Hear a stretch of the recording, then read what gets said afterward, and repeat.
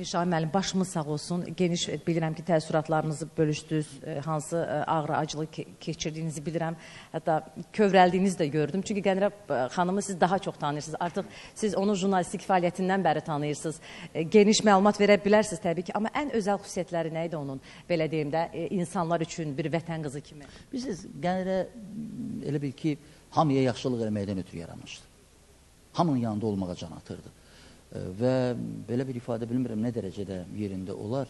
Mənə elə gəlir ki, Qənirə Paşayeva hamı üçün yaşadığı kimi elə hamı üçün də vəfat elədi. Hamımızın yerinə vəfat elədi. Hərəmizdə nəsə getdi. Hərəmizdə nəsə getdi. Allah səbir versin. Sağ olun. Amin, amin. Başımız sağ olsun. Bəli, Şahin Çox müəllim də. Qənirə xanımla bağlı ən son sözlərini söylədi. Meşahin Belə, Ağayev yəni yenə öz vəziyyət formundadır. gördüyünüz kimi hər kəs Ee, kədərlidir.